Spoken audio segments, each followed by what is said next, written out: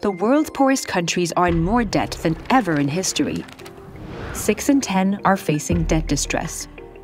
Countries are having to choose between paying creditors and feeding people. How did we get here?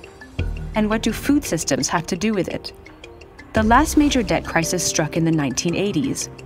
A global recession left low income countries in debt. So, when rich countries put up interest rates to curb inflation, many were unable to repay their loans.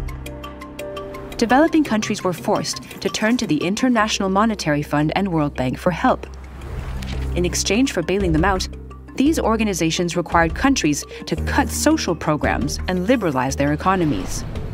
They were encouraged to produce crops for export, like cotton and coffee, to earn foreign exchange and pay down their debts.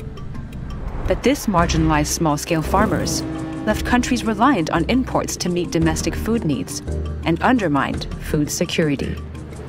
By the early 2000s, developing countries were benefiting from debt relief and renewed efforts to fight poverty.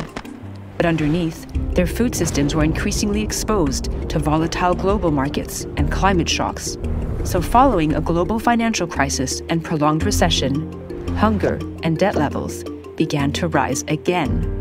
Since 2020, the world has been hit by a pandemic, a major recession, and a severe food price crisis sparked by Russia's invasion of Ukraine. Rich countries have put up interest rates again, raising the cost of loan repayments. Now, poorer countries are left facing a triple blow of skyrocketing food import bills, spiraling debt servicing costs, and intensifying climate impacts. We're back to the 1980s, only worse. This time around, how do we break the cycle of debt and hunger? We need comprehensive debt relief now. But we also need to invest in building food systems that are less reliant on imports and more resilient to climate shocks, that sustain the livelihoods of farmers and feed communities. That way, poorer countries can finally get off the debt treadmill.